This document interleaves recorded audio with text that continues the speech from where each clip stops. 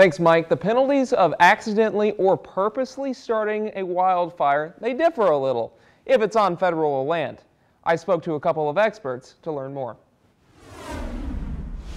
If a fire starts, there will definitely be a thorough investigation to see if there will be consequences. Depends on whether or not that fire was purposefully set or accidentally, how much damage was caused, um, and a number of other factors that may come into place.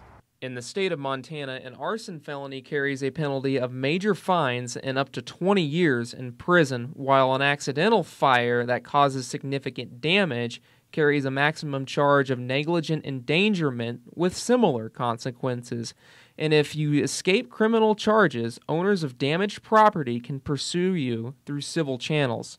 You need to be extra careful at this time of year because the fuels you see in this grass and even up in the trees are extremely dry, which means one spark can cause a large wildfire. ATVs and side-by-sides and things like that, uh, make sure that they're appropriately equipped with spark arresters. You're not parking in dense, dry vegetation, things like that. Same goes for target practice. Just making sure that you're, you're shooting in a good location, appropriate things like targets, um, not garbage or trash or glass bottles.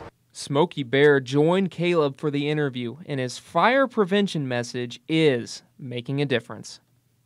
A 12% decrease in 2018 of the human-caused fires, and over the last 10 years, about a 15% decrease in human-caused fires. In Gallatin County, Carson Vickroy, MTN News.